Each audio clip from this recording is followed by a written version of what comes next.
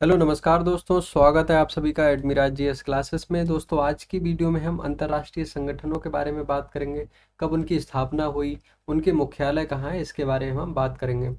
दोस्तों, इसकी पीडीएफ आपको हमारे टेलीग्राम ग्रुप पर मिल जाएगी तो आप उस वहाँ से इसकी पीडीएफ ले लीजिएगा और इसको बार बार रिवाइज करिएगा, क्योंकि एग्ज़ाम में बहुत ही इंपॉर्टेंट टॉपिक आपके लिए हो जाता है और बहुत सारे प्रश्न भी यहाँ से आपसे पूछ लिए जाते हैं।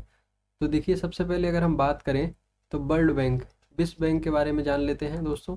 तो विश्व बैंक की स्थापना आपकी हुई थी जुलाई उन्नीस ईस्वी में, ठीक है दोस्तों? वहीं इसकी मुख्यालय कहाँ है? तो इसका मुख्यालय वॉशिंगटन डीसी में है, यानी कि अमेरिका के अंतर इसका मुख्यालय और कहाँ पर? वॉशिंगटन डीसी में। इसके अलावा हम देखें यूनेस्को। यूनेस्को यानी कि संयुक्त राष्ट्र शैक्षिक, वैज्ञानिक एवं सांस्कृतिक संगठन। इसके बारे में दोस्तों, स्थापना इसकी कब हुई? चार नवंबर 1946 को। यानी कि यूनेस्को की स्थापना कब हुई? चार नवंबर 1946 को। वहीं इसका जो मुख्यालय है, वो है पेरिस में। तो यूनेस्को का मुख्यालय जब पूछा जाएगा तो आप बताएँगे पेरिस। और पेरिस, दोस्तों, आप जानते हैं कहाँ है? फ्रांस में। इसके बाद हम देखते हैं आईएमएफ बहुत बार आपने नाम सुना होगा आईएमएफ इंटरनेशनल मॉनेटरी फंड, यानी अंतर्राष्ट्रीय मुद्रा कोष। इसकी स्थापना, दोस्तों, हुई 27 दिसंबर 1945 ठीक है? और वहीं इसका मुख्यालय भी वॉशिंगटन डीसी, देखिए। विश्व बैंक का मुख्यालय भी वॉशिंगटन डीसी में था।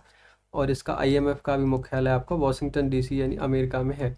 दोस्तों, आपके मन में ये आ रहा होगा कि हाँ ये वर्ल्ड बैंक हमने स्थापना समझ ली, मुख्यालय समझ लिया। अब इसके बारे में आपको जानने की क्यूरियोसिटी अंदर से आ रही होगी। तो दोस्तों, मैं बताना चाहूँगा कि इसके बाद जो वीडियोस आपके आएँगे अंतर्राष्ट्रीय संगठन पे तो एक हम पर्टिकुलर ऑर्गेनाइजेशन को उठाएँगे और उसके बारे में डिटेल से समझेंगे। इसमें आप केवल समझ लीजिए कि इनकी स्थापना मुख्यालय कहाँ है, क्योंकि ये एग्ज़ाम पॉइंट ऑफ़ व्यू से काफ़ी इंपॉर्टेंट है, लेकिन अगर आपको डिटेल में जानना है तो इसके बाद नेक्स्ट जो वीडियोस आएँगी, उसमें हम एक एक संगठन को उठाएँगे उनके बारे में डिटेल से जानेंगे दोस्तों।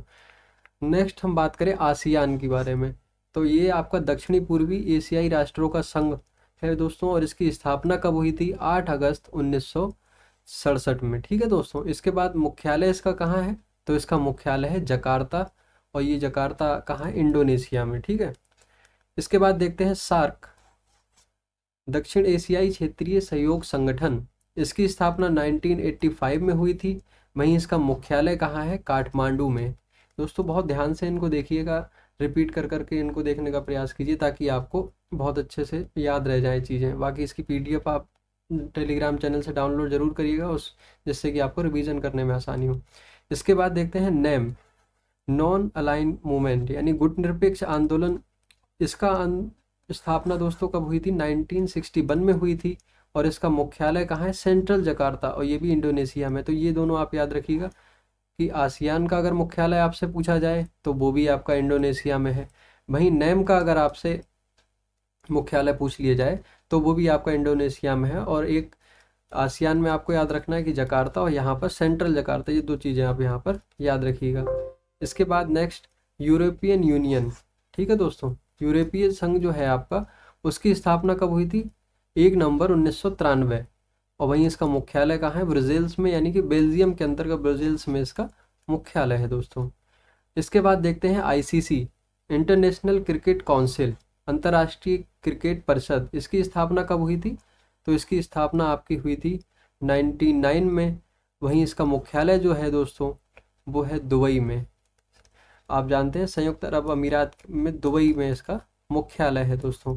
वहीं बात करें ओपेक देशों की, ओपे तो इसमें है पेट्रोल निर्यातक देशों का संगठन है ये ओपेक, और इसकी स्थापना हुई थी दोस्तों 1960 में, और इसका मुख्यालय आपका कहाँ है? बियना में।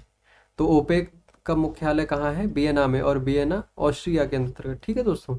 नेक्स्ट बात करेंगे यूएनओ के बारे में। संयुक्त राष्ट्र संघ। बहुत बार एग्जामों में दोस्तों ये पूछा गया है। यूनाइटेड नेशन ऑर्गेनाइजेशन ठीक है दोस्तों? तो इसके बारे में हम देखते हैं। इसकी स्थापना कब हुई थी? 24 अक्टूबर 1945 को। बहुत इंपॉर्टेंट दोस्तों 24 अक्टूबर 1945 को यूएनओ की स्थापना हुई थी।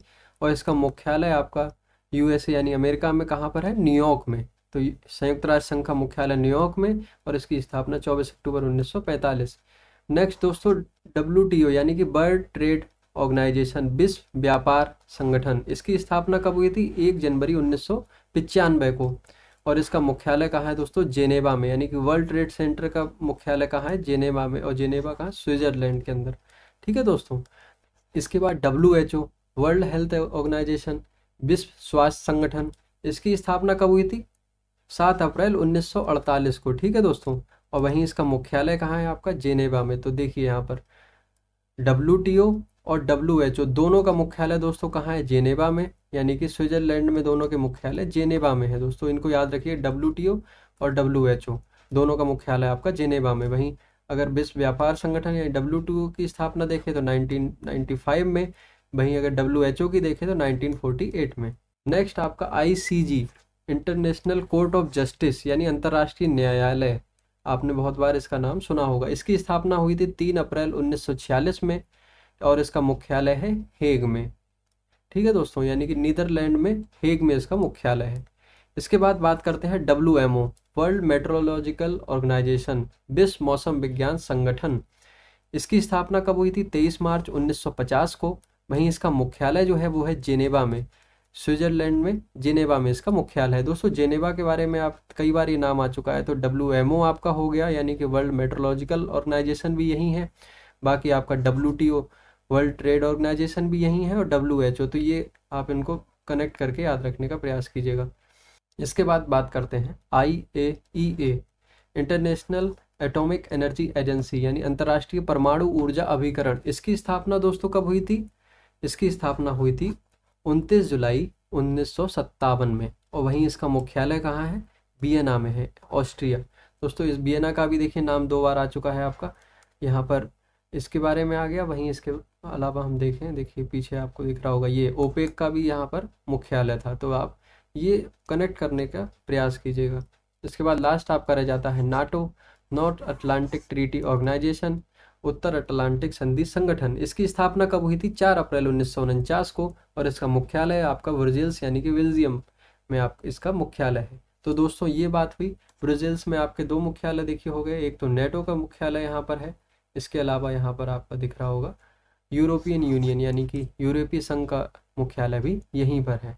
तो दोस्तों, इस तरह से हमने सारे संगठनों की स्थापना, उनके मुख्यालय के बारे में बात कर ली। इसके बाद जो नेक्स्ट आपकी वीडियोस आएँगी, उसमें हम पर्टिकुलर एक एक ऑर्गेनाइजेशन को उठाकर, उनके बारे में डिटेल से बात करेंगे कि क्यों उनकी स्थापना की गई, कब उनके मीटिंग्स होती हैं, या क्या, किस तरह से इनकी क्रियाविधि होती है, सारा सब कुछ आप जानने का आपको मौका मिलेगा। तो चलिए मिलते हैं नेक्स्ट वीडियो में, तब तक के लिए जय हिंद, जय भारत।